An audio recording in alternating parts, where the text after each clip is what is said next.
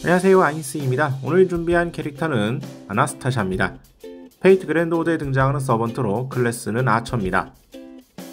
프로필은 다음과 같습니다. 키와 몸무게는 158cm에 40kg, 출전은 사실, 전승, 지역은 러시아, 속성은 혼돈 여름, 성별은 여성에, 담당 성우는 하라 유미입니다.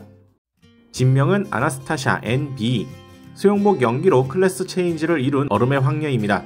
여름 나는 러시아의 인간이라고 약간 더운 정도로는 꿈쩍도 아 핫 더워 방심하면 무기력해지기에 빙수를 상비하고 있습니다. 가끔 너무 먹어서 머리가 띵해집니다.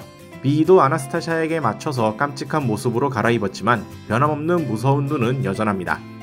패러미터는 근력 D2 플러스, 내구 E, 민첩 B, 마력 C, 행운 C, 보구 B랭크입니다. 클래스 스킬로는 단독 행동, 미드 B, 랭크는 EX입니다. B가 있는 한 비교적 어디서든 따로 행동할 수 있습니다. 보구 사용도 자신만만 하다만 본인은 그다지 마스터의 곁을 벗어나고 싶지 않아 합니다. 요정 계약, 랭크는 B 플러스입니다. 수영복용의 계약은 별도로 취급하고 있습니다. 고유 스킬로는 슈브비지크, 여름, 랭크는 B 플러스입니다.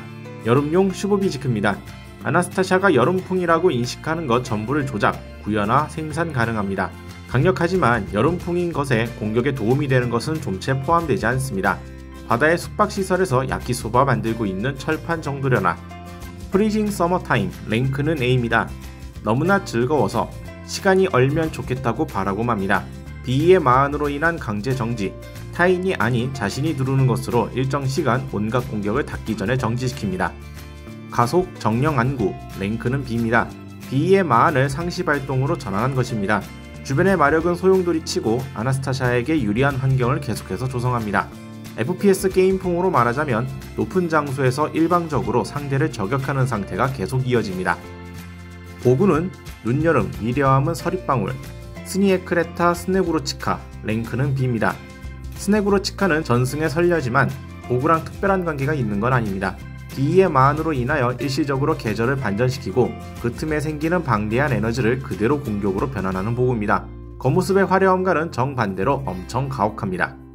빙계 투척 절살마구, 언더스로 freeze 싱커, 랭크는 A입니다. 황녀 필살의 언더스로 투법으로 얼핏 눈덩이로 생각될 법한 그걸 투척합니다. 하지만 그건 압축된 얼음 덩어리에 powder snow를 묻혔을 뿐인 물건이며 회전이 더해지며 상상 이상의 파괴력을 지닙니다. 그것만으로도 조금 그런데 비이의 마안으로 인하여 스트레이트의 위력을 유지하며 억지로 구부러뜨립니다. Fate Grand Order에서는 기본적으로 사용되지 않습니다. 아마도. 수영복 영기가 되면 진명이 아나스타샤 and 비이가 됩니다. 장난치기 좋아하는 소녀라는 부분이 전면적으로 드러나 있습니다. 캐스터일 적이 황녀로서의 측면을 드러낸다면 수영복 아처일 때는 본래 그녀가 지닌 자유분방한 속성이 강조됩니다. 이 때문에 평소라면 하지 않을 짓도 무심코 해버리기에 주의가 필요합니다. 이런 폭주를 막으려면 마스터가 필요하죠. 아웃도어 장난을 좋아하는 짓궂은 소녀로 변했으며 단독 행동보다 친구, 동료, 마스터를 이끌고 걷는 걸 즐거워합니다.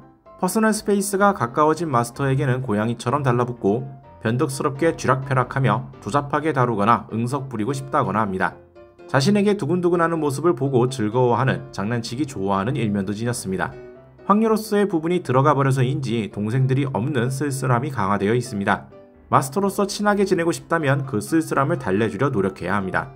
이 상태에서 주종 관계는 자신이 주인이자 시종, 마스터가 시종이자 주인이므로 서로 평등한 관계라고 합니다. 마스터와는 마력을 주고받는 사이라며 이 표현이 비밀스러운 분위기가 풍긴다 합니다. 좋아하는 건 빙수, 아이스크림, 냉파스타, 냉면 등이며 싫어하는 건 차가운 음식을 먹으면 생기는 복통입니다. 성배가 있으면 계절을 언제나 여름이나 언제나 겨울로 바꿔버리고 싶다 하죠. 비가 아나스타샤에 맞춘 의상을 입고 있으며 신장은 잴 때마다 30에서 50cm 범위에서 바뀝니다. 체중은 불명이며 눈꺼풀이 묵직하다는 건 확실하다 하죠. 이 비인은 병에 안 걸리고 물리공격에 정신공격 모두를 무효화합니다. 이 때문에 주인보다 더 강한 거 아니냐는 소리가 있습니다. 오늘은 아처로 등장한 아나스타샤에 대해서 간단히 살펴봤습니다. 다음에 또 다른 캐릭터에 관한 영상으로 찾아뵙도록 하죠. 시청해주신 분들 감사합니다.